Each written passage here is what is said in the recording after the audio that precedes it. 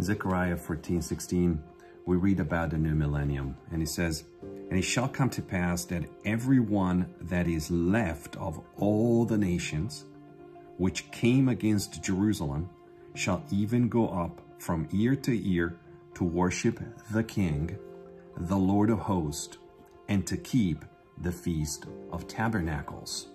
And in verse 17 it says, And it shall be that whoso will not come up of all the families of the earth unto Jerusalem to worship the King, the Lord of hosts, even upon them shall be no rain. So it's very clear that in the new millennium, the Feast of Tabernacles will be primary of extreme importance. And therefore, the Lord has been leading me to study and see the Feast of Tabernacles. In 2022 and 2023, the Lord gave me two messages which I could not understand at the time. Let me read them to you. The first message I received on October 9th of 2022 at 4.19 p.m. Not by bread alone shall men live, but by every word which proceeds from the mouth of God. For man was created first, then the woman. Listen to these words, son, for deception is spread rampant, and men's hearts are failing. Hearken to my words, and take refuge in them. I am. Voyagers across the sea came to rest, a land of many waters, a land of unrest, sons and daughters, pilgrims, a man of dark resemblance, a counterfeit, Dutch in parentheses, vision of O. Mr. P, the king of the north, a meeting to occur soon, Mr. B, an impostor, vision of a horse changing color, black, gray, and white. Fear not, son. Political unrest is at hand. The war will start in Crimea, Turkey next. The bear, the white horse. Go rest and eat. Come back later, son, for more. Wisdom in parentheses. I love you, Abba.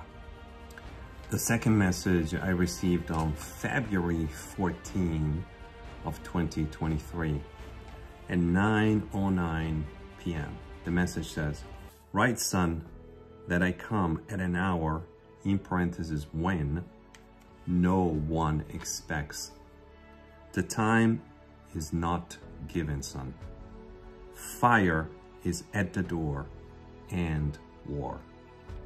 For destruction is commanded. Fear not, son, the hour comes. The time is now. When the Redeemer, the Holy One of Israel, shall descend in the clouds for all to see. Fear not, son. The time is appointed according to my will. Son, I love you. You have done well. Depart in peace, for your arrival is near and all is prepared. Now listen, in parentheses, to my voice. Lemons and honey and, in parentheses, nothing, the fig tree. It's late, son. Retire, son. I love you, son. Love, Lord Jesus, Yeshua. Amen. I, of course, had no idea what much of this message messages really meant, and especially the part which talks about lemons, for there are no lemons mentioned in the Bible. So I had forgotten about this message and always wonder what the Lord had meant with lemons. That until two days ago, when I was led to watch a video, which against my will, I persevere through the first part of it until the speaker mentioned the book of Josephus. And he read from the book of Josephus, chapter 10 of book 3, in paragraph 4. Upon the 15th day of the same month, when the season of the year is changing for winter, and he was speaking about the fact that in scripture, only winter and summer are mentioned as scripture.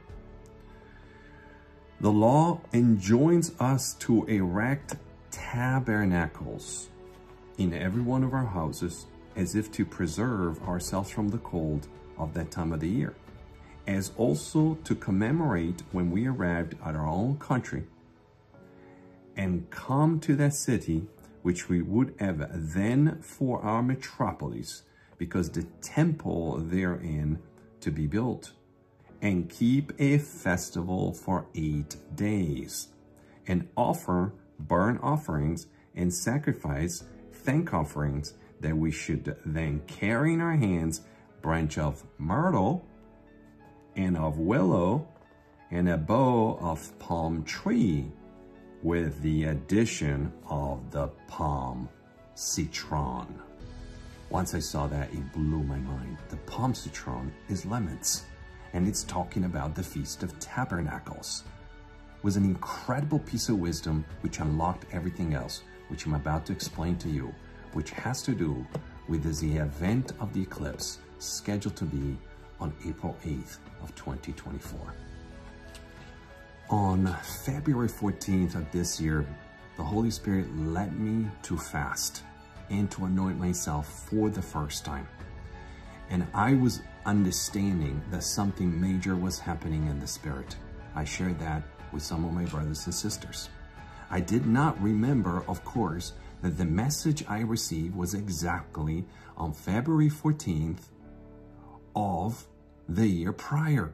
And this is the message of the lemons. The message of the lemons, I now understand, had to do with tabernacles. But the previous message I read from 2022 came on 10-9 of 2022, which is the first day of tabernacles. And in that message, I was told about a man of dark resemblance, Mr. O, war, and three horses, or rather one horse changing color into a black, white, and pale, which as you have seen perhaps in my other series, Great is the Tribulation, is an image I became familiar with. So we have these political characters, war, horse changing colors, and the Feast of Tabernacles. Now, if you've been with this ministry long enough, you should be familiar with the one main number we have been shown over and over and over. And the number is 84.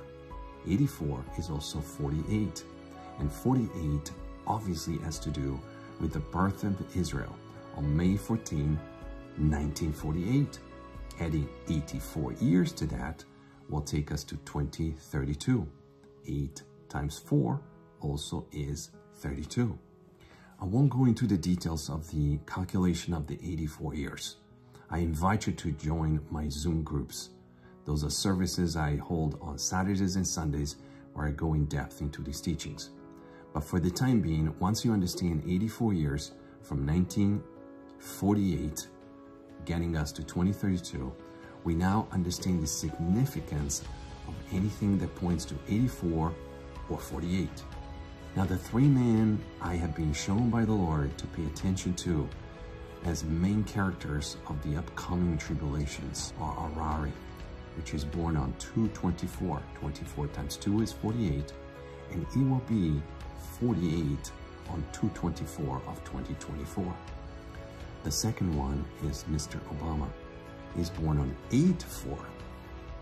This year, he will turn 63, 6-3 or 3 sixes. And the third one is Mark Zuckerberg. He has the same exact birthday as Israel on May 14. Israel is May 14, 1948. Zuckerberg is May 14, 1984. This is mind-blowing wisdom, not something I came up with. I was led to see this by the Holy Spirit. And in that particular way, we're led to see that in this particular year, which is 224 or 48, we have three dates which we will be looking for and pay attention to. 224, May 14, 514, as well as 8, 4 of 2024. Now in the midst of all this, we happen to have 4, 8, which is April 8, the date for the eclipse, but the eclipse points to the darkness, the darkening of the light. This is a match or a mirror to 8-4, a man of dark resemblance, ushering us likely into a tribulation. What we are pointed out to see is that the eclipse is a pointer to the presence of these three men, each one lining up with the three horses I was shown, the black, the white, and the pale, which at this moment are of equal importance. None of them is above anyone else.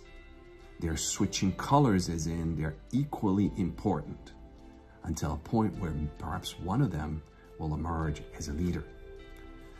What this eclipse is pointing to is a time of war, of unrest, and political instability.